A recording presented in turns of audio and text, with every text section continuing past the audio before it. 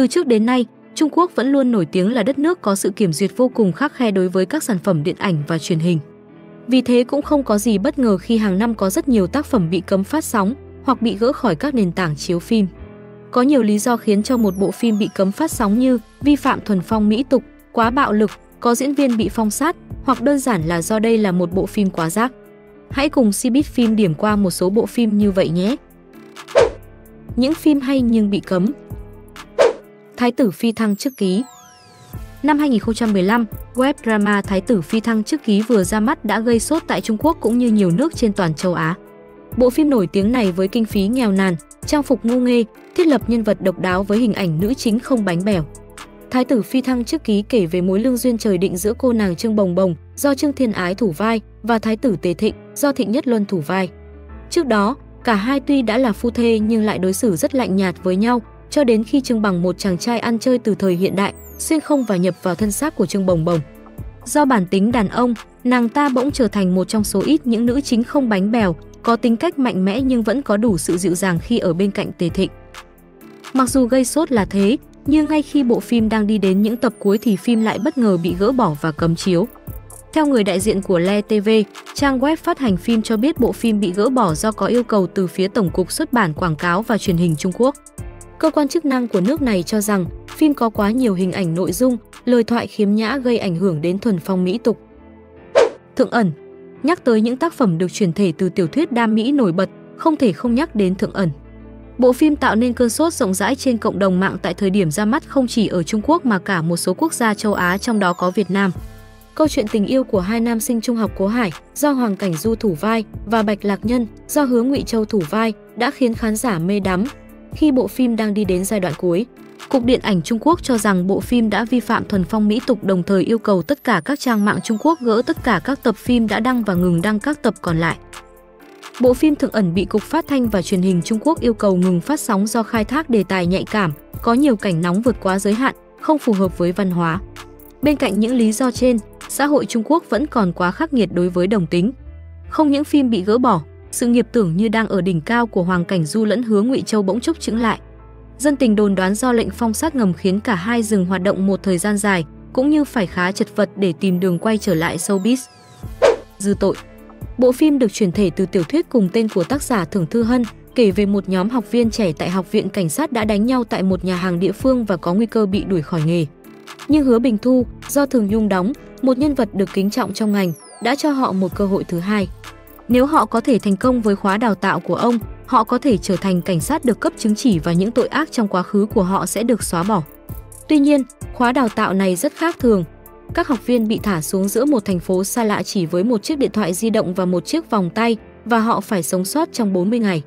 Bằng khả năng quan sát và suy luận, dư tội do Trương Nhất Sơn đóng, tìm thấy và tập hợp các đồng đội của mình. Trong dư tội, diễn xuất của Trương Nhất Sơn được đánh giá cao, những tình tiết ngôn tình được lồng ghép khéo léo, bên cạnh những tình tiết hấp dẫn lôi cuốn của thể loại phim hình sự tội phạm. Bộ phim đã nhận được sự yêu thích của cư dân mạng đặc biệt là nam chính Trương Nhất Sơn. Một thời gian sau, bộ phim cũng đã rút lui lặng lẽ với lời giải thích được đưa ra là dư tội với đề tài là cảnh sát nhưng cốt truyện trong phim không phù hợp, không tạo dựng được hình ảnh tích cực của công an, gây ảnh hưởng xấu, không có lợi cho việc xây dựng hình ảnh công an nhân dân nên bị cấm. Chấn hồn Bộ phim Chấn hồn được chuyển thể từ tiểu thuyết đam mỹ cùng tên của tác giả Brist Phim phát sóng trên nền tảng Youku và tạo nên cơn sốt bùng nổ có lẽ chỉ kém Diên Hy công lược đôi chút. Chấn hồn đã giúp hai nam chính Bạch Vũ và Chu Nhất Long trở thành ngôi sao nổi tiếng trong mùa hè 2018. Kỹ năng diễn xuất của hai diễn viên chính cũng được đánh giá cao. Nhờ chấn hồn, Bạch Vũ và Chu Nhất Long tìm được chỗ đứng trong sự nghiệp. Tuy nhiên, bộ phim Chấn hồn vẫn bị gỡ bỏ hoàn toàn khỏi tất cả các nền tảng chiếu phim online trong sự ngỡ ngàng của khán giả. Lý do phim bị cấm chiếu là vì tuyên truyền mê tín dị đoan và có quá nhiều cảnh phim bạo lực. Tuy đã bị Cục Điện ảnh Trung Quốc xóa hết phim trên các trang chiếu và cả điểm Duben, nhưng nhiều khán giả vẫn nhớ rõ bộ phim Chấn hồn từng được chấm 6,8 điểm. Diên Hy công lực và hậu cung như ý chuyện Năm 2019, khán giả Trung Quốc phát hiện hai tác phẩm nổi tiếng thuộc dòng phim cung đấu là Diên Hy công lược và hậu cung như ý chuyện bị gỡ bỏ trên các nền tảng xem online. Trước đó, rất nhiều thông tin cho rằng phía Trung Quốc đang hạn chế những bộ phim cung đấu. Chính vì thế, hai bộ phim Diên Hy công lược và Như ý chuyện mới bị gỡ. Tuy nhiên, Nếu thông tin này là thật thì những bộ phim cung đấu khác đều bị gỡ đồng loạt, chứ không thể nào chỉ bị gỡ hai bộ phim này. Mà những bộ phim cung đấu khác như Chân Hoàn chuyện lại vẫn hiên ngang nằm trên các nền tảng phim mạng. Trước đó, hai bộ phim Diên Hy công lược và Hậu cung như ý chuyện từng thành công thống trị màn ảnh hoa ngữ năm 2018. Diên Hy công lược tạo tiếng vang lớn với loạt thành tích đáng nể. Phim bán bản quyền cho 70 nước và vùng lãnh thổ. Tổng lượt xem của tác phẩm lên tới 15 tỷ, trung bình một ngày có hơn 700 triệu view. Hậu cung như ý chuyện với sự tham gia của Châu Tấn, Hoắc Kiến Hoa, Trương Quân Ninh, Đồng Khiết. Cũng không kém cạnh với tổng lượt xem hơn 14 tỷ trong suốt 87 tập phim. Tháng 4 năm 2020, Hội nghị truyền hình Bắc Kinh lần thứ 26 công bố báo cáo phát triển phim truyền hình Trung Quốc năm 2020. Báo cáo chỉ ra rằng Cục Điện ảnh Trung Quốc tập trung vào việc ra soát 4 dòng phim, phim cổ trang, phim cung đấu, phim chiến tranh chống Nhật và phim dài tập. Đối với dòng phim cung đấu, Cục tăng cường thắt chặt ra soát hồ sơ, xét duyệt nội dung, tập trung xử lý các bộ phim xây dựng trên sự kiện lịch sử có thật. Những phim bị gỡ khỏi nền tảng vì quá dở. Các quý ông khu Đông Bát Bộ phim Các quý ông khu Đông Bát được Trương Hàn thay ngén và sản xuất trong suốt 10 năm. Nam diễn viên từng chia sẻ anh viết kịch bản đầu tiên vào năm 2012. Sau đó anh dừng lại do mất nguồn cảm hứng sáng tác. Đến năm 2015, dự án được tiếp tục và có thời lượng 30 tập. Tuy nhiên, Trương Hàn đã tự tay đào hố cho mình khi bộ phim nhanh chóng trở thành tác phẩm và bị ném đá không thương tiếc trên mạng xã hội. Bộ phim Các quý ông khu Đông Bát đã nhanh chóng bốc hơi khỏi các nền tảng trực tuyến sau khi hứng chịu làn sóng chỉ trích dữ dội từ khán giả. Nội dung của bộ phim Các quý ông khu Đông Bát xoay quanh cuộc đời của đồng ngữ và ba người bạn từ khi còn học đại học tới khi đã thành đạt trong cuộc sống. Họ có nghề nghiệp tốt sau khi ra trường, nhưng đều gặp phải các vấn đề đau đầu liên quan đến tình yêu và sự nghiệp.